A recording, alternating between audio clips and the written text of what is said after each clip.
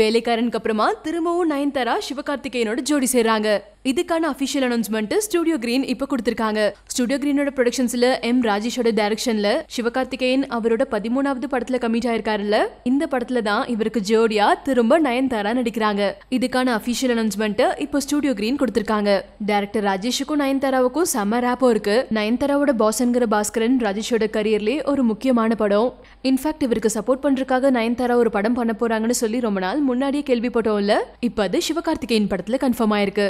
வேலைக்காரன் படத்துல தான் நயன்தாரா சிவகார்த்திகேயனோட கெமிஸ்ட்ரிய சாங்ஸ் தாண்டி விஷுவல்ல பெருசா பார்க்க முடியல. அட்லீஸ்ட் ராஜேஷோட படத்துலயாவது அந்த குறை தீருதான்னு பார்க்கலாம். அப்புறம் நாங்க கேள்விப்பட்ட வரைக்கும் இந்த படத்துல நயன்தாராவுக்கு செம்ம கெத்தான ஒரு கேரக்டரா சிம்பிளா சொல்லணும்னா மன்னன் விஜயசாந்தி மாதிரி வெயிட்டான ஒரு கேரக்டர்னு சொல்றாங்க. பட் ராஜேஷ் படத்துல அந்த மாதிரியான கேரக்டர்ஸ் அவர் செட் பண்ணுவாரா? அப்படியே செட் பண்ணாலும் ஏதாவது ஒரு விதத்துல அதை காமெடியா மாற்றிடுவாரு ஸோ நயனுக்கு நார்மல் ஹீரோயினை தாண்டி இந்த படத்துல என்ன மாதிரியான கேரக்டர் அப்படிங்கறத வெயிட் பண்ணி பார்க்கலாம். அண்ட் இவங்களோட காமெடியில கலக்க throughout the movie Sathish வர போறாரு. சரி இந்த படத்துக்கான டைட்டில் என்னவா இருக்கும்? இது வரைக்கும் ராஜேஷ் அவரோட படங்களோட டைட்டிலா மூணு இல்ல நாலு வார்த்தைகளை தான் வச்சிருக்காரு. எஸ்எம்எஸ் பாஸ் என்கிற பாஸ்கரன் வாசுவும் சரவணனும் ஒன்னா படிச்சவங்க.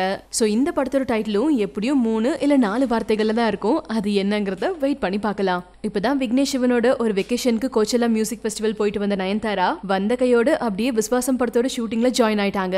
மேபி அதை முடிச்சிட்டு சிவா கூட ஜாயின் ஆகலாம். பட் இந்த படத்துக்கும் சிவாவோட தோஸ்து அனிருத் தான் மியூசிக் கம்போஸ் பண்ணுவாரான்னு தெரியல. ஆனா ஆல்ரெடி சூர்யாக்காக அவர் கம்போஸ் பண்ண சொடக்கு சாங் இப்ப அனிருத்க்கு பிளாட்டினம் டிஸ்க வாங்கி கொடுத்திருக்கு. தானா சேர்ந்த கூட்டம் படத்தோட album hundred million plus streams போயிட்டு இருக்கிறதுனால இதனோட மியூசிக் ரைட்ஸை வாங்கின மியூசிக் கம்பெனி அனிருத்க்கு பிளாட்டினம் டிஸ்க் கொடுத்திருக்காங்க. இது அனிருத்க்கு ஃபர்ஸ்ட் டைம் இல்லைனாலும் இதை திரும்பி வாங்கி கொடுத்த ஃபேன்ஸுக்கு அனிருத் தேங்க் பண்ணிருக்காரு. அனிருத்க்கு அப்புறமா சிவகார்த்திகேயனுக்கு செம்மையா மேட்ச் ஆகக்கூடிய ஒரு மியூசிக் டைரக்டர்னா அது டி இமான் சார் தான். ஸோ எஸ்கே தேர்ட்டீனுக்கு அனிருத்தோட மியூசிக் உங்களுக்கு வேணுமா? இல்லை டி இமான் மியூசிக் வேணுமா? இல்லை ஃபார் அ சேஞ்ச் எஸ்டிஆரோட மியூசிக் வேணுமா? கீழே கமெண்ட்ல வித்யாவோட ஷேர் பண்ணுங்க. உங்க அப்பியரன்ஸ் வீட்ல எப்படி இருக்கும்? பேய் மாதிரி இருக்கும்.